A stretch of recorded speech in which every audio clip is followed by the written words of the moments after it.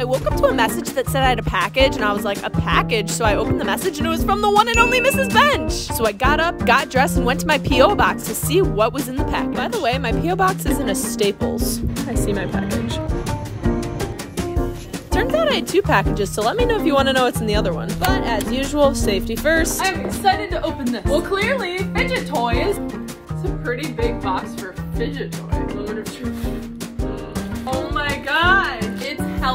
Fidget toys. We have a shirt, a shimmer bear. I like these are so satisfying. He's so cute. Look at him.